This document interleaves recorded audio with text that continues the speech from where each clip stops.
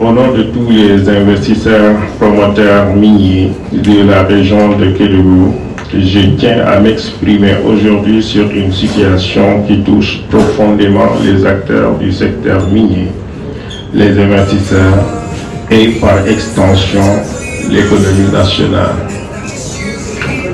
Nous faisons face à une situation lourde de conséquences à savoir le décret présidentiel numéro 2024-1502 du 31 juillet 2024 suspendant les opérations minières semi-mécanisées au-delà de 500 mètres. Ce décret pris sans consultation préalable des parties prenantes met en péril des investissements conséquents et la stabilité socio-économique de euh, régions entières, notamment celle de Kédougou.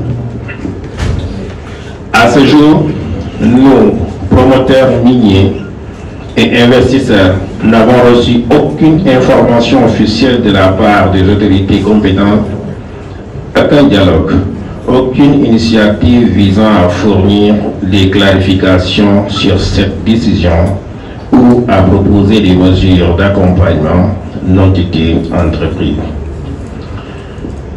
Cette rupture manifeste de dialogue opéré par l'État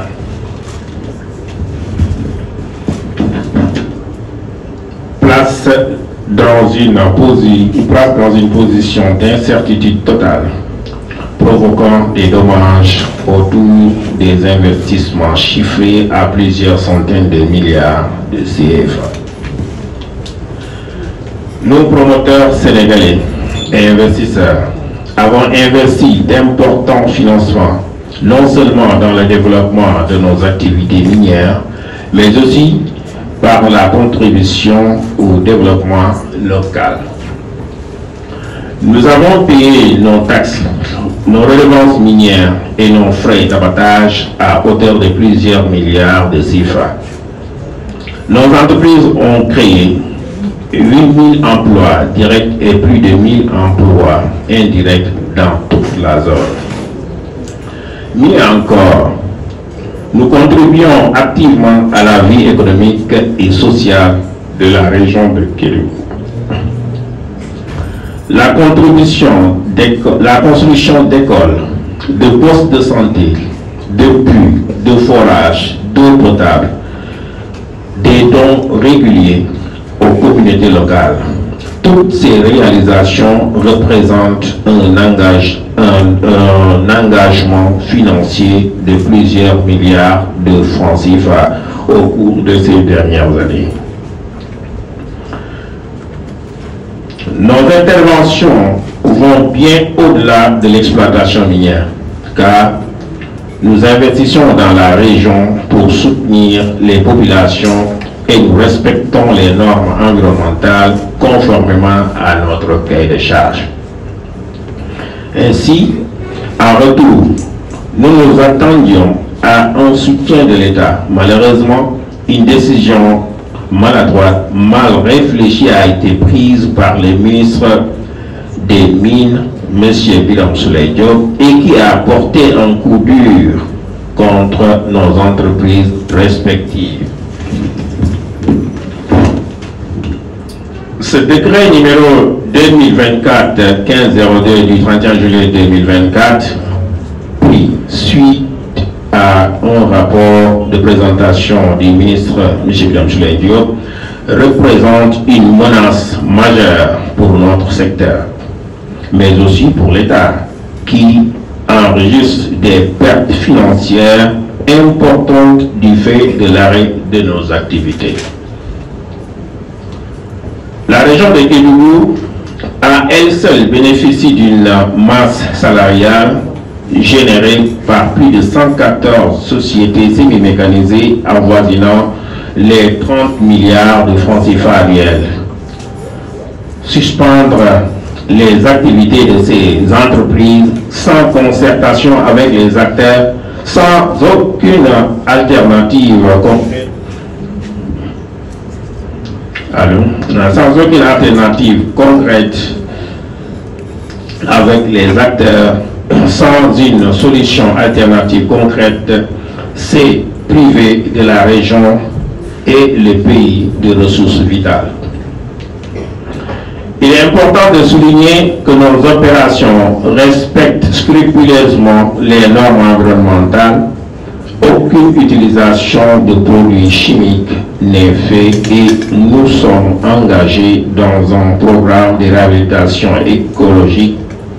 Cependant, malgré tous ces efforts, nous restons sans interlocuteur, sans réponse de notre tutelle sans soutien de notre gouvernement. Pire encore, nous subissons des persécutions de cette décision qui met en péril les entreprises en dépit de nos engagements auprès de nos partenaires financiers et techniques.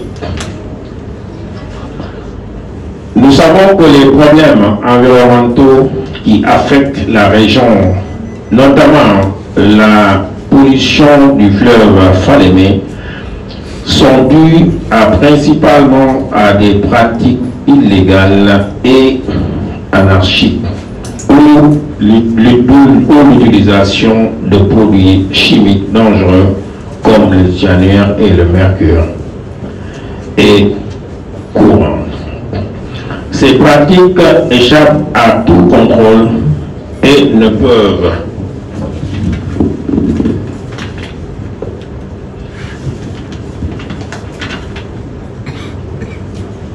en aucun cas être comparé à nos méthodes d'exploitation qui sont conformes aux normes internationales et aux règlements en vigueur dans notre pays.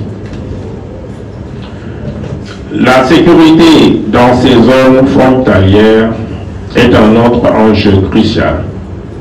En l'absence de couverture téléphone, euh, télécom, le contrôle est déjà difficile pour les forces de l'ordre, nous avons pris sur nous d'équiper nos sites de systèmes de sécurité sophistiqués et de personnel formé pour prévenir toute intrusion contre la sécurité territoriale. Cependant, l'annulation de nos permis entraîne une absence d'activité économique compromettre la stabilité dans toute la zone frontalière. Des, euh, des acteurs étrangers, souvent issus de réseaux criminels, ne manqueront pas de s'approprier ces espaces laissés vacants en exacerbant la menace sécuritaire la pollution ainsi que la corruption devenue une gangrène. Nous invitons donc l'État à reconnaître l'importance de notre engagement.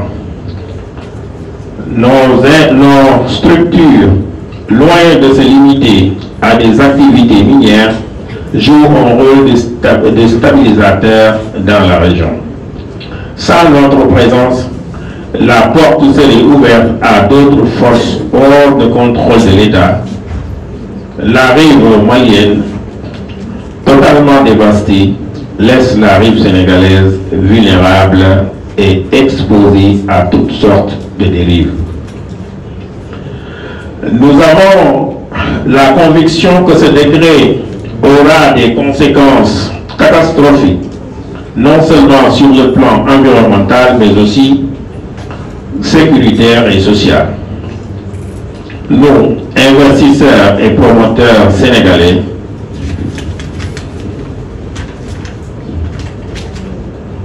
avons le sentiment d'avoir été abandonnés. Aucun dialogue n'a été ouvert.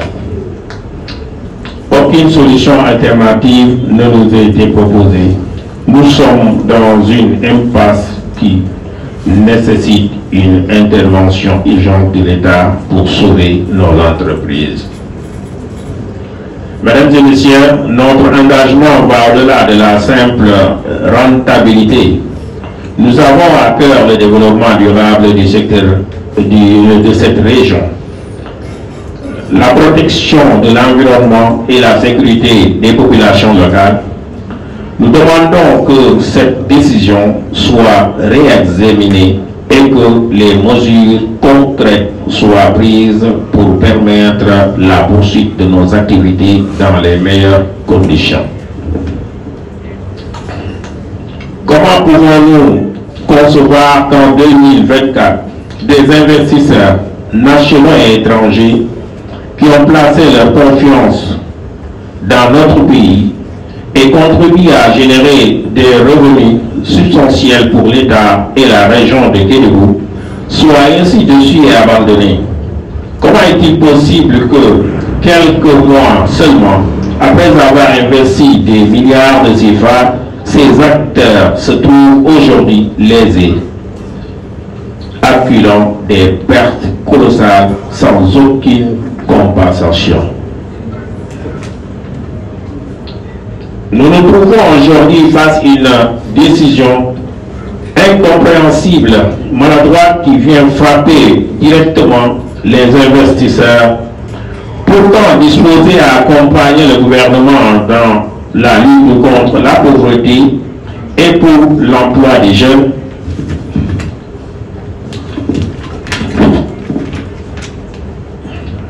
Nous invitons le gouvernement à revoir ce décret présidentiel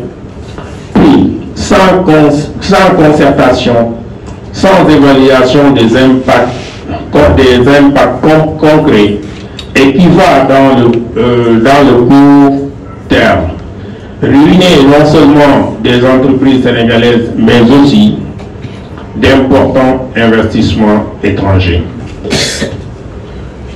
Des jeunes, des femmes, des chefs de famille, des communautés locales, toutes entières qui tirent des revenus dans les activités de nos entreprises sont aujourd'hui menacées.